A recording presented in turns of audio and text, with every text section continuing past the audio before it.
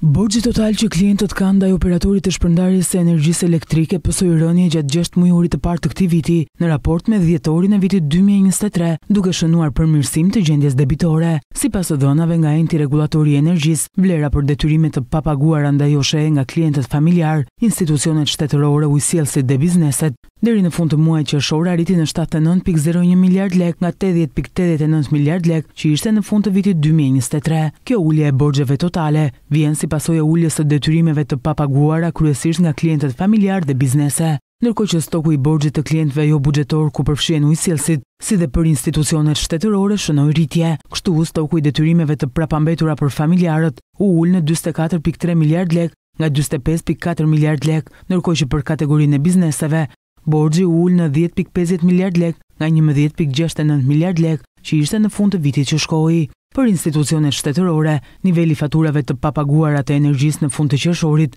arriti në katër pikë tetëdhjetë e katër miliardë lekë nga katër pikë tetëdhjetë e tre miliardë lekë që ishte gjashtë muaj më parë. Sa i takon kategorisë së jobuxhetorëve, detyrimet e papaguara arritën në nëntëmbëdhjetë pikë tridhjetë e gjashtë miliardë lekë në fund të qershorit, nga tetëmbëdhjetë pikë nëntëdhjetë e gjashtë miliardë lekë që ishin në fund të vitit dy mijë e njëzet e tre.